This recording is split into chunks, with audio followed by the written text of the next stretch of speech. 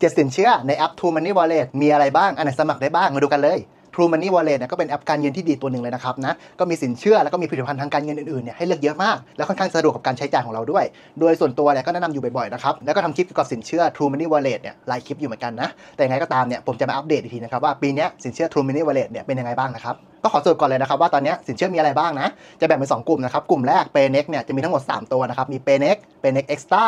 Paynex Extra U นะครับนะอย่าสับสนนะ มันชื่อเหมือนกันมากเลย แล้วก็สินเชื่ออีก 4 ตัวนะครับ มี KKP Cash Now สินเชื่อเงินสดไมโครเครดิตสินเชื่อจำนำทะเบียนรถและวงเงินผ่อนมือถือแท็บเล็ตนะครับรวมทั้งหมด7สินเชื่อเลยนะก็ไม่รู้จะเยอะไปไหนนะครับแต่ทุกตัวเนี่ยไม่มีการสมัครผ่านไลน์ข้อความ Facebook TikTok นะครับและทุกตัวเนี่ยเริ่มต้นสมัครผ่านทาง True Money Wallet เท่านั้นไม่ต้องโอนเงินก่อนไม่ต้องจ่ายเงินก่อน ไม่ต้องวางเงินในบัญชีคนอื่นด้วยนะครับอันนั้นมิจฉาชีพนะระวังด้วย